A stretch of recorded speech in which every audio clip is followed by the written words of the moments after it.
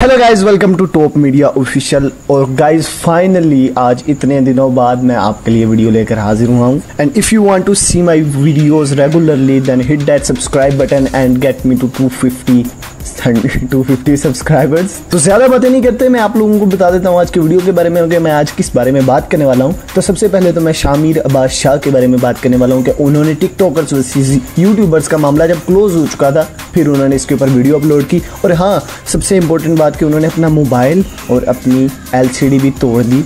Because of Aamir Siddiqui तो ये सारा कुछ मैं आप लोगों को बताऊँगा। उसके बाद मैं आप लोगों को बताऊँगा शहरोल सब्जवारी, सदफ, कमल और सायरा के बारे में। तो वीडियो को जल्दी से जल्दी लाइक कर दें चैनल को सब्सक्राइब कर दें। आज की वीडियो में बहुत मज़ा आने वाला है। तो चलिए वीडियो को शुरू करें। फ़र्स्ट ऑफ़ ऑल तो हम लोग बात कर लेते हैं शामिर बादशाह की। तो कुछ दिन पहले से ही शामिर बादशाह ने ये बातें अपनी, ये सोशल मीडिया के थ्रू हमें बताना शुरू कर दी थी कि मैं वीडियो को बना रहा हूँ और वीडियो अपलोड करने लगा हूँ। On the topic of TikTokers versus YouTubers उनको बहुत ही ज़्यादा मतलब इस बारे में कमेंट्स मिले कि अब ये मामला क्लोज हो चुका है और पाकिस्तान की तरफ़ से किसी ने इतना रिस्पॉन्स भी नहीं दिया इस मामले के ऊपर, लेकिन शामिर बादशाह ने बहुत खुल के इसके ऊपर वीडियो बनाई है। और हाँ उन्होंने इस वीडियो के अंदर पाकिस्तान के टिकटॉकर्स को भी टैग किया है, जैसे कि जुलकर नया कमल आफ्ताब, इनको बहुत ज़्यादा ट्रोल करने की कोशिश किया इसके अंदर तो वो वीडियो भी मैं तुम लोगों को दिखा देता हूँ। लेकिन उससे पहले मैं तुम लोगों को ये बता दूँ कि उन्होंने अपना मोबाइल और स्क्रीन तोड़ दी थी बिकॉज़ ऑफ़ आमिर सिद्दीकी क्योंकि वो वीडियो के अंदर उनके सामने आ रहे थे तो उन्होंने हिट किया अपने मोबाइल को भी और अपनी एल को भी। तो आप लोग ये तोड़ते वक्त की वीडियो देख लें। गोल्ड डिगर की वीडियो तो सारे गोल्ड डिगर्स के वीडियो बनाएँगे। मतलब भेड़ बकरियों वाले चाल करते रहते हो तुम लोग। और उसमें भी तुम लोग आपस में लड़ लेते हो। क्या बात है यार मतलब सपोर्ट तो बिल्कुल ही नहीं। अब यही बात है मैं तुमको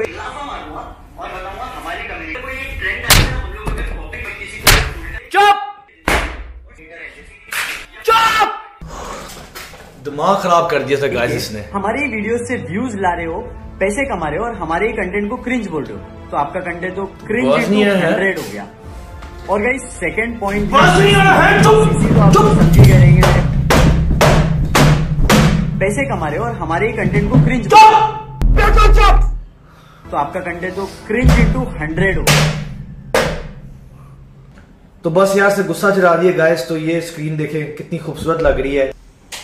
Much better than before guys बंदे की मैं शक्ल नहीं देख सकता लेकिन मैं टूटी स्क्रीन देख सकता हूँ सारी रात। तो वीडियो के एट दैट पॉइंट जहाँ पर वो आमिर सिद्दीकी को छोड़कर पाकिस्तानी टिकटॉकर्स को पॉइंट कर रहे हैं जैसे कि सिकंदर जुलकर नैन और कमल आफ्ताब तो उनके भी छोटे छोटे पार्ट मैं तुम लोगों को दिखा देता हूँ। इस चूस को छोड़ो। एक और बहुत बड़ी चूस है मेकअप की दुकान। कमल आफ्ताब।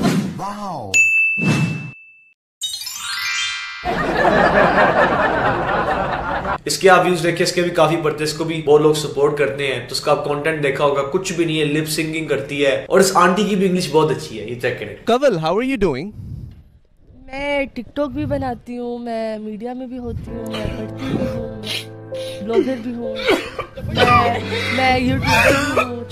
बाकी ये जो बातें कर रहे हैं, ये मोस्टली ट्रू है मेरे हिसाब से तो आप लोगों को लगता है मुझे कमेंट के अंदर ज़रूर बताइएगा कि आप लोगों को इनकी बातों के ऊपर इतफाक करते हैं कि नहीं। तो चलिए बात कर लेते हैं सदफ कमल और शहरोज सब्जवारी और सायरा खान के बारे में। तो दोस्तों, इनके बारे में बहुत ही ज़्यादा पिछले दिनों स्टोरी इनकी बहुत ही ज़्यादा चल रही थी। तो मैं उन दिनों सोशल मीडिया से थोड़ा सा ऑफ़ था तो मैं ये स्टोरी को कवर नहीं कर पाया तो मैं चाह रहा था कि मैं इस स्टोरी को ज़रूर कवर करूँ। तो इसके ऊपर मैं थोड़ी सी तुम लोगों को बैक स्टोरी दे देता हूँ कि पहले शेरोज सब्जवारी और सायरा खान जो उनसे, वो मियाँ बीवी हुआ करते थे, उनका मतलब कोई आपस में झगड़ा हुआ और वो अलहदा हो गए, लेकिन उसके कई साल बाद उन्होंने मतलब एक दो साल बाद ही शादी कर ली सदफ कमल के साथ, लेकिन इस शादी का बहुत ही ज़्यादा मज़ाक उड़ाया गया कि इन्होंने इतनी खूबसूरत बीवी को छोड़ के इसके साथ शादी कर लिया।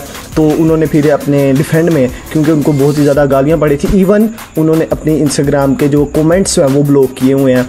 तो मतलब कोई उनको कमेंट नहीं कर सकता। अब अलबत्त डीएम तो कर ही रहे हैं ना, लोग डीएम में जो गालियाँ निकाल रहे हैं, वो, वही देख सकते हैं बस। तो मतलब लोग नहीं बढ़ सकते। लेकिन इसके डिफेंड में उन्होंने एक वीडियो बनाई है, वो वीडियो मैं तुम लोगों को पूरी दिखाता हूँ। तो उससे पहले चैनल को सब्सक्राइब कर दें और आराम से अब मैं आपको वीडियो देखने वो तंग नहीं करूँगा। तो वीडियो देखने के बाद मैं तुम लोगों से मिलता हूँ। तो चलिए आप आराम से वीडियो देख लें। वालेकुम ये वीडियो मेरा बनाने का मकसद सिर्फ़ ये है। कि मैं अपने ख़ानदान को और अपने आप को डिफेंड करूँ, जिसका मैं हक रखता हूँ।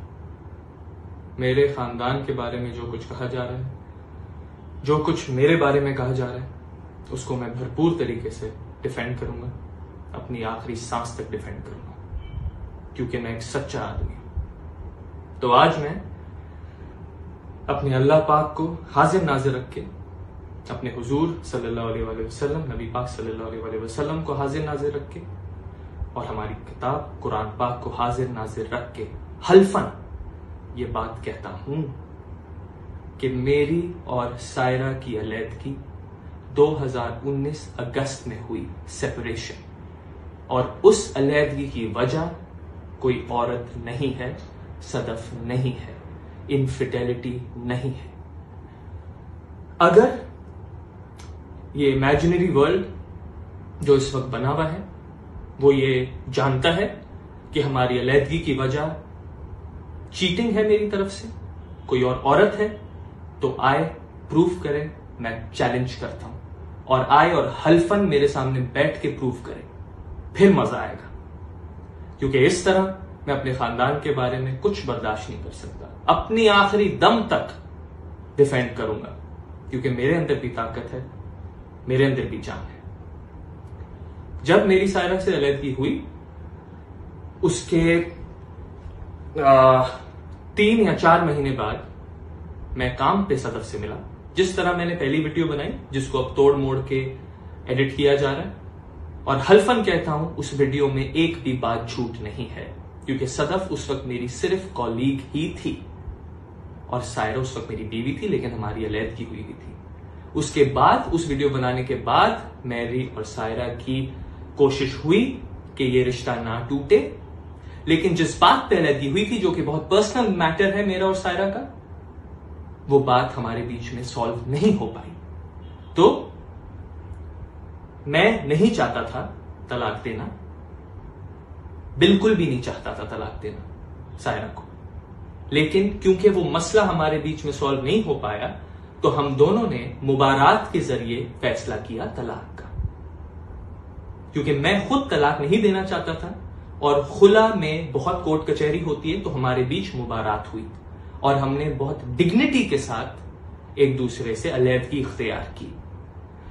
उस वक्त सदफ के साथ मेरा कोई गलत रिश्ता नहीं था। ठीक है जी? अब बात आई कि मैं वीडियो क्यों बना रहा हूँ।